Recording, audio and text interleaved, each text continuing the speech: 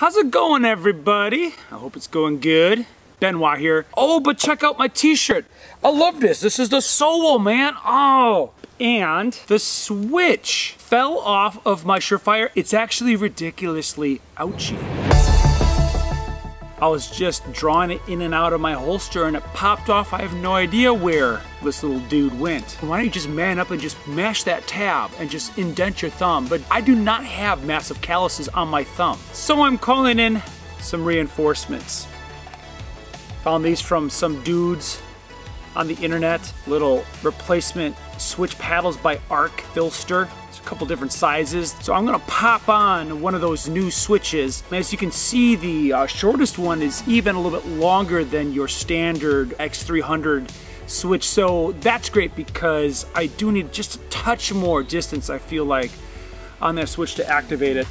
Ah, that bug got me.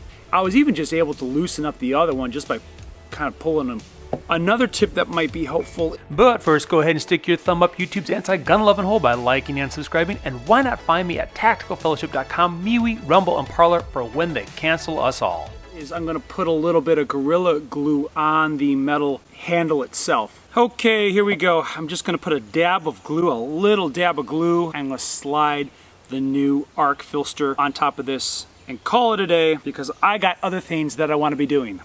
A little bit of glue right there, just a little drop.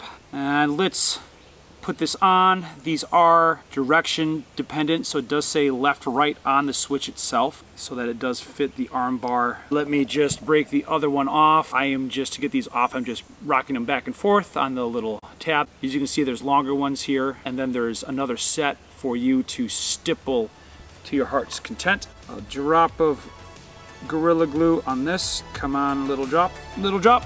Good. push it down. Boom! I should cover up my glue. Good and hard, edgy material on the tip. Well friends, I hope this has been useful to you. I hope this product maybe gives you an idea if you are in a tight spot losing one of your switch paddles.